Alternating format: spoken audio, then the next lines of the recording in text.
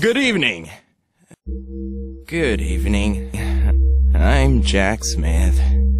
I'm Harry Jones. How are you? Very well, thanks. And you? Fine, thank you.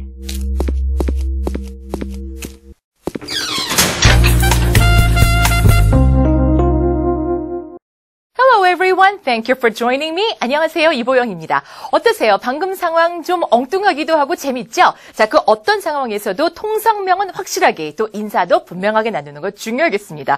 자, 지금 자기 이름을 말하면서 I am 이라고 시작하죠. 제 이름은 Jack Smith라고 합니다. I am Jack Smith. 이름 그리고 성 순서로 보통 말하게 됩니다. 또 I am Harry Jones. 자기의 이름도 상대방이 말해주고 있고요. 그런 다음 안부를 묻는 인사가 바로 이어질 수 있는 거죠. 처음 만나서도요. How are you? 그랬더니 잘 지냅니다.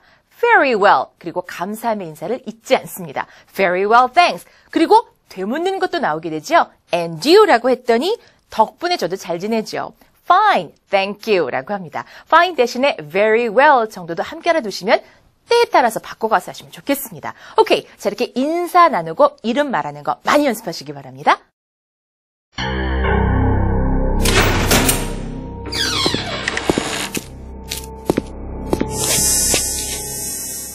Good evening. I'm Jack Smith. I'm Harry Jones. How are you? Very well, thanks. And you? Fine, thank you.